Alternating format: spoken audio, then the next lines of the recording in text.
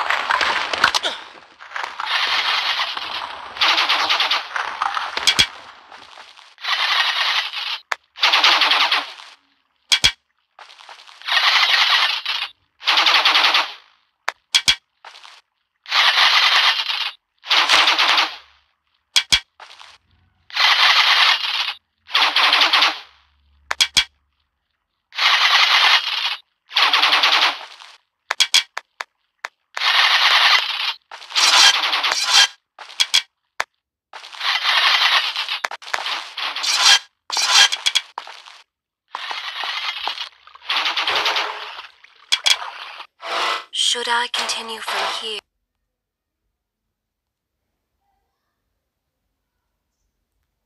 Good. This is a fine place to start the tale next time.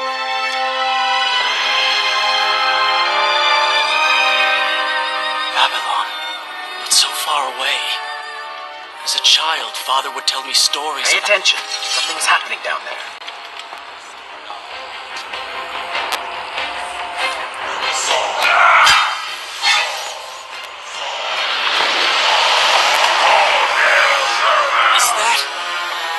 It's the Vizier! He has been completely transformed. Interesting. He has used the power of the sands to transform his army.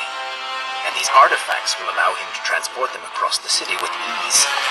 He appears to be in complete control. Things do not look too good for you at the moment. I will not let the Vizier have Babylon. My city. My throne. Has used that beam as a gate.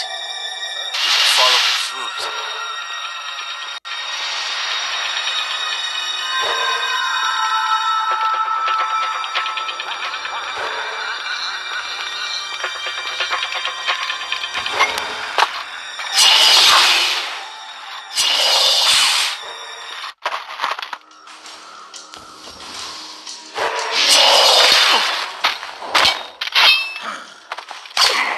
Rise!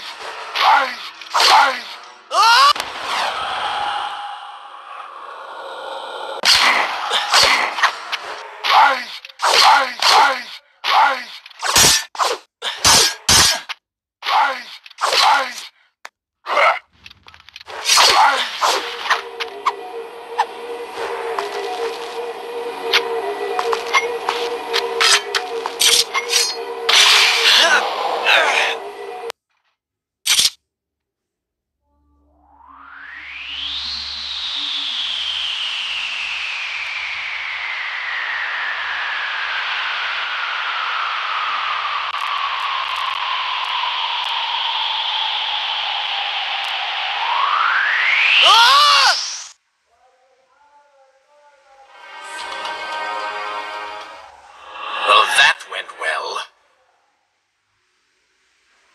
Maybe following the Vizier through that gate wasn't such a good idea.